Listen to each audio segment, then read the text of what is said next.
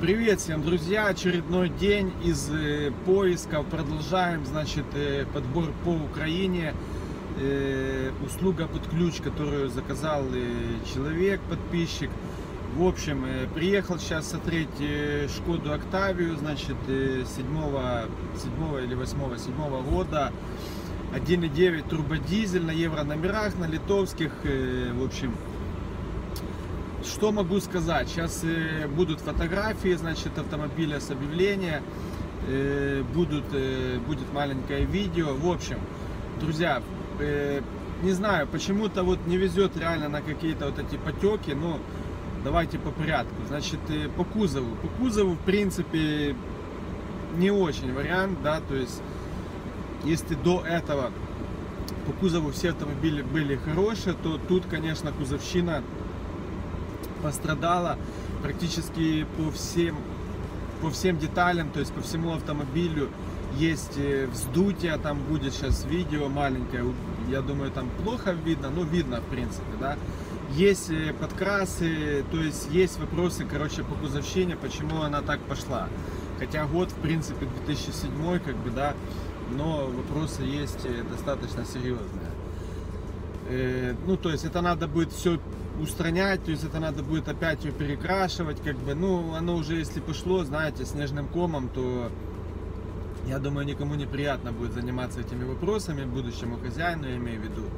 Вот. Ну, понятно, что вопрос цены. Значит, э, на данный момент э, цена на автомобиль э, 3 900 долларов. Ну, понятно, что люди готовы как бы торговаться, то есть, в принципе, цена всегда решает, да. Э, Помимо кузова, значит, э, что могу еще отметить из минусов? Опять, друзья, подтекание масла в моторном отсеке. Фотографии как смог, так сделал. Тоже прикреплю, посмотрите. Вот. В остальном, в принципе, а, ну и едет, если честно, вчера просто смотрел тоже Октавию 1.9, и та Октавия, конечно, ехала намного бодрее.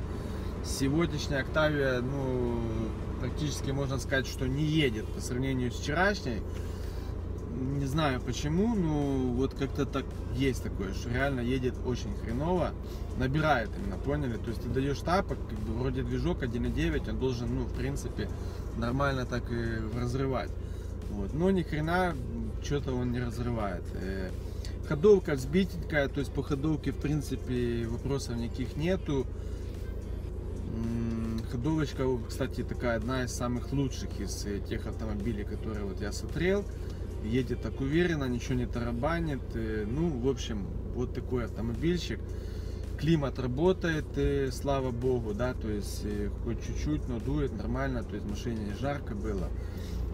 В общем, вот такой вариантик сейчас человеку как бы всю эту информацию передал, да, то есть, ну, не знаю, то есть смотрим дальше, как говорится, да.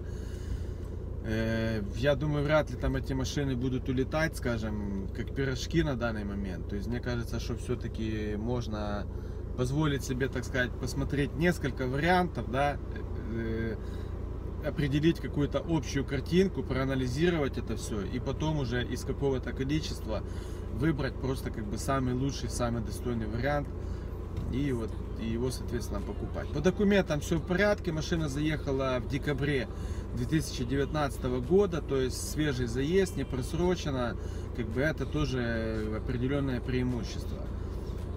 Вот, что, ну, я дальше продолжаю свою работу, поеду сейчас еще, значит, э, подписчик скинул мне э, Ford, Ford S-Max, минивэн все-таки есть.